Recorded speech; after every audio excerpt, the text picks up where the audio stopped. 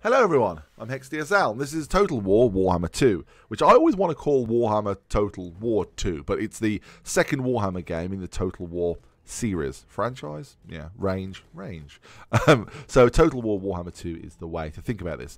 Originally, it was released on the 28th of September 2017, developed by Creative Assembly. That's Creative Assembly, I should say that properly, and uh, published by Sega. Now, the uh, the port was done by Feral Interactive, and they are publishing the Mac and Linux versions.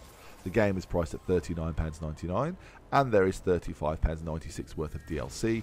And there's one, two, three, four DLC that are free as well. So you can just grab them straight away, and then the rest is uh, coming up to that £35.96. So it's not a cheap game. This is quite a premium price game, which is yeah, fine. Um, the uh, the requirements. Now let me read you the requirements. I know this gets boring, but I feel like I should say it because some of these are quite quite heavy. So uh, the minimum required. This is the absolute minimum they recommend to run this game. The minimum recommended is that word anyway. The minimum requirements is Ubuntu 1804 64-bit. Uh, an Intel i3 4130 at 3.4 gigahertz, 6 gig of RAM, uh, a GTX 660 with 2 gigabyte of RAM, uh, and an AMD R9285, or I should say, not and, with again with 2 gigabyte. It requires a 52 gigabyte of storage, even though the download I did to get the game installed was 33.7 gigabyte. Uh, the recommended, however, and I'm just going to read the, the, the differences here because obviously it's still Ubuntu 64-bit, no 32-bit. Remember that. Um, the, the uh, recommended is um, an Intel i7 4770 at 3.4 gigahertz, 8 gigabyte of RAM, a 4 gigabyte NVIDIA 970 or a 4 gigabyte AMD RX 480. Um, and there's a little note at the bottom of the Steam page here that you probably pay attention to. Uh, NVIDIA graphics card require driver version 396.54. AMD GPUs require Mesa 18.1.5 or better, and Intel GPUs are not supported. So this is a game that is is of a high end. This is a high end game that they expect you to have a decent rig to play, and that's instantly understandable as soon as you go in the first battle and for me, I played Ratman straight because like Ratman, Ratman, Ratman, Ratman, Ratman, Ratman, Ratman. You know, because uh, why would you not play Ratman if you can? Because they're just adorable and they look like they're having a wonderful time all the time. Um, and I threw all these Ratmen at these uh, terrified-looking elf people and uh, yeah, there was a lot going on. like there is a lot going on in this game, and you can zoom in all the animations like individually done. They're not just copy pastas. Um, yeah, there's there's a lot going on, so I can see why it recommends an i7 4770. I actually come below the recommended spec. My system's an i7 3770.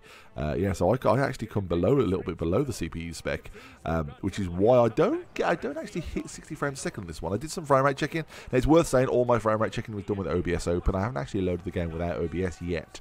Um, and I was getting high 40s, bro. what what I noted was even when the action was nuts, it was a very stable frame rate I was getting. That was just by hitting recommend and play. Um, so yeah, I was I was really quite happy with that.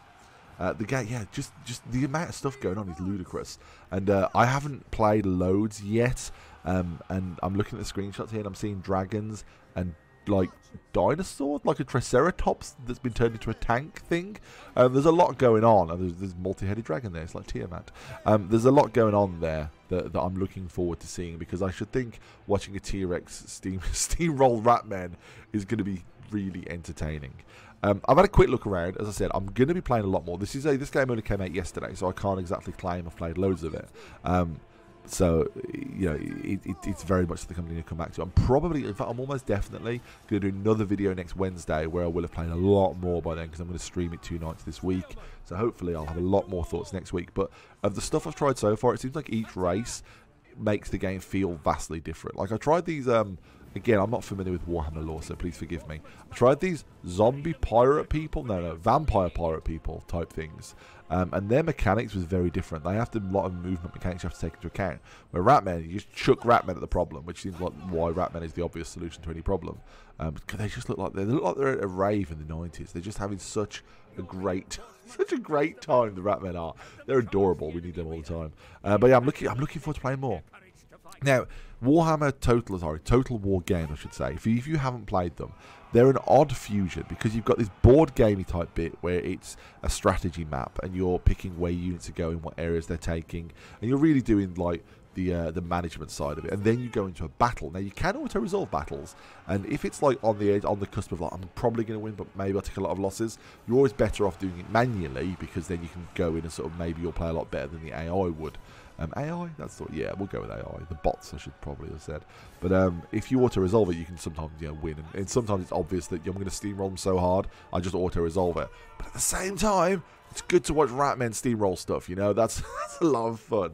Um, so uh, yeah, you, you can you can go in these two distinct gameplays. You've got the board game, then you've got the battle sequence. The battle sequence, as I said, you're very much a general controlling troops, and the board game is very much like it like it's like a little bit reminiscent of Civ, but vastly different to that because it's more focused on the strategy rather than like not building a town and like maintaining that. You know, building a town, building an empire, I should say.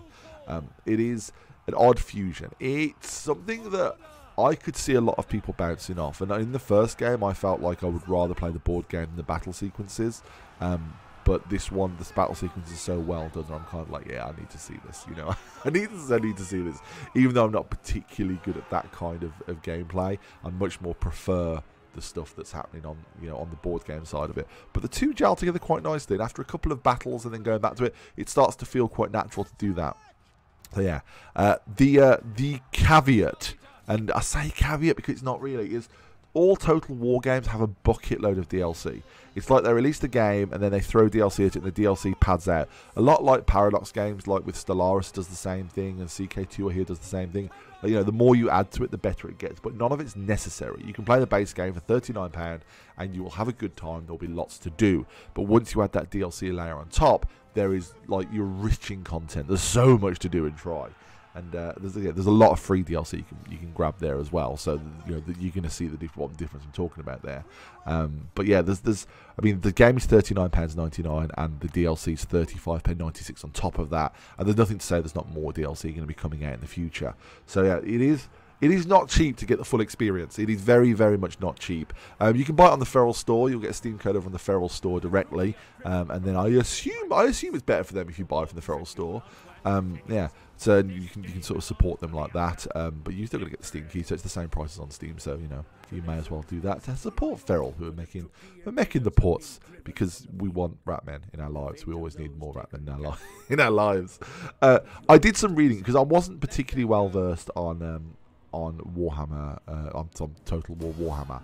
Uh, I did some reading, and it seems like if you own the first game and a lot of the DLC, um, it brings that into the second game. Um, I didn't see any pop ups that specifically told me that but uh, it's definitely a thing that, that that people on the forums are saying happens, and I couldn't find an official post that confirms it. Um, I assume it happens on the Linux port, the same as it does on the Windows port. I'm going to look into that a bit more and have another have an actual definitive answer on that for you by the time I do my next Wednesday's video. But yeah, this is just an early look at it. Um, it's yeah, it's it's quite glorious. I really like the lush environment, and, and yeah, I, I, there's a lot to like. I'm looking forward to streaming this and going all in with it. I think that's going to be something I'm really going to enjoy. So thank you for watching this this eight minute rambly ramble thing I've done. Um, and yeah, next week, on next Wednesday, when I've played enough of it to have a real sort of well formed opinion, I'll be able to come back and say loads. Uh, hopefully, that's actually useful, not just rambling. so yeah, thank you for watching, and thank you to Feral for making making supporting this game. I've been kind of looking forward to this since it came out on Windows, pretty much. I've been like, yeah, I want I want to play that. So I'm happy to finally be able to play it.